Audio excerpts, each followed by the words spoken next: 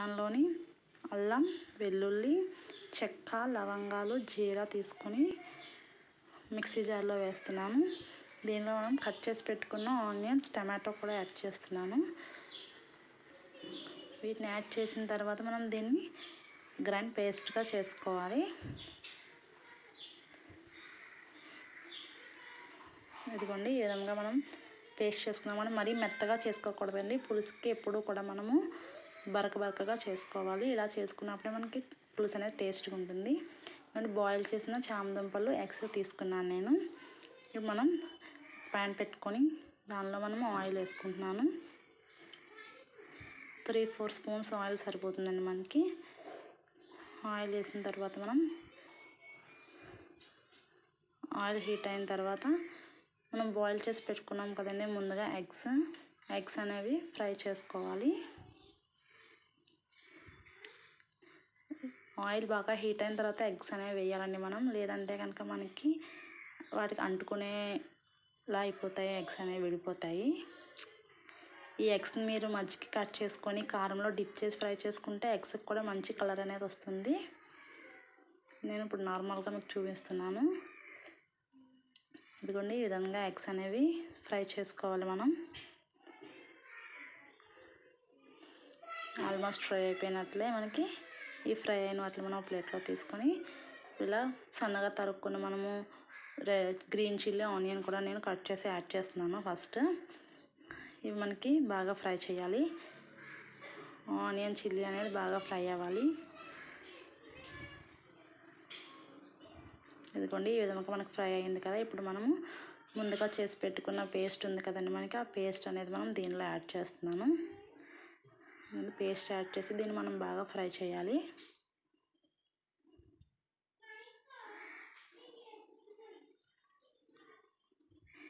మనకి మసాలా అనేది మనకు బాగా వేగడానికి మనము సాల్ట్ యాడ్ చేసుకుంటే మనకు త్వరగా వేగుతుందండి. Two tablespoon salt add చేస్తున్నాను నేను. యాడ్ చేసిన తర్వాత మనం బాగా ఫ్రై చేస్తున్నాను. మసాలా అనేది వేగిన స్మెల్ వచ్చేంత వరకు కూడా మనం బాగా ఫ్రై చేసుకోవాలి. మనం ఒక ఫైవ్ వన్ టూ మినిట్స్ ఏమో వచ్చి మూత పెట్టుకుందాం. దీనిలో ఇవ్వండి. ఇలా ఆయిల్ మనకు పైకి వచ్చే వరకు కూడా మనం దాన్ని బాగా ఫ్రై చేసుకోవాలి మసాలా అనేది. మనకి పులుసు ఏదైనా పులుసు పెట్టుకునేటప్పుడు మనకి మసాలా అనేది మంచిగా వేగితేనే మనకి ఆ పులుసు టేస్ట్గా ఉంటుందండి. ఆల్మోస్ట్ ఇది ఫ్రై అయినట్లే. మనం ఇంకా బాగా ఫ్రై చేసుకుందాము. మన టేస్ట్ అంతా ఈ మసాలాలోనే ఉందండి. అందువల్ల దీన్ని చక్కగా బాగా ఫ్రై చేసుకుందాం. ఇదిగోండి ఆయిల్ పైకి తేలింది కదా చక్కగా ఇప్పుడు మనం దీంట్లో టేస్ట్కి సరిపడా రెడ్ చిల్లీ పౌడర్ యాడ్ చేసుకోవాలి.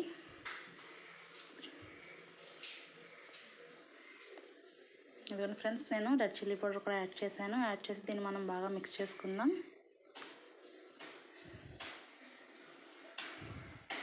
మనం సాల్ట్ ఆల్రెడీ ఫస్ట్ మనం యాడ్ చేసుకున్నాం కదా ఇప్పుడు మనం ఇంకా యాడ్ చేసుకోక్కర్లేదు.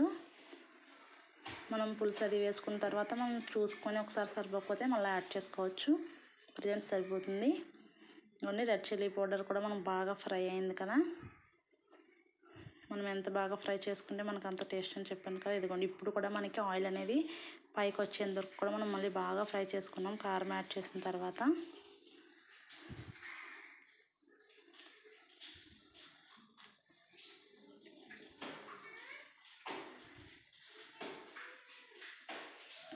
చాలా ఈజీగా మనము పులుసు అనేది మనం చేసేసుకోవచ్చు ఇంట్లో. ఇలా డిఫరెంట్గా ట్రై చేయండి. ఇప్పుడు మనం దీనిలో నేను బెండకాయలు తీసుకున్నానండి. మనం పిల్లలు ఇందులో పెట్టి వేసిన బెండకాయలు వాళ్ళకి ఈ విధంగా తినిపించవచ్చు. పిల్లలకి చాలా మంచిది మనకి. లేడీ ఫింగర్ అనేది పెట్టడం వల్ల వాళ్ళకి బ్రెయిన్ షార్ప్గా ఉంటుంది. నేను కట్ చేసిన బెండకాయ తీసుకున్నాను.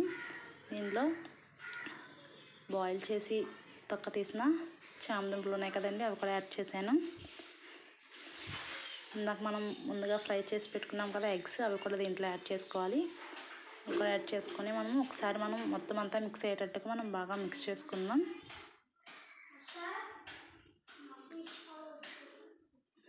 అని ఈ విధంగా బాగా ఫ్రై చేసాం కదా ఇప్పుడు మనం దీంట్లోని ఒక హాఫ్ గ్లాస్ వాటర్ అనేది యాడ్ చేసుకోవాలి.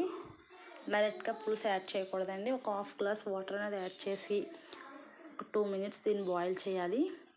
అది బాయిల్ అవుతుంది అనేటప్పటికి మనము పులుసు అనేది ఇందులో యాడ్ చేసుకోవాలి. ఎందువల్ల అంటే ముందే మనం పులుసు యాడ్ చేయడం వల్ల ఈ ముక్కలు అవి బాగా పట్టదండి. మసాలా అనేది వీటికి బాగా పట్టడానికి మూత పెట్టి ఒక టూ మినిట్స్ మగ్గించుకుందాం దీన్ని.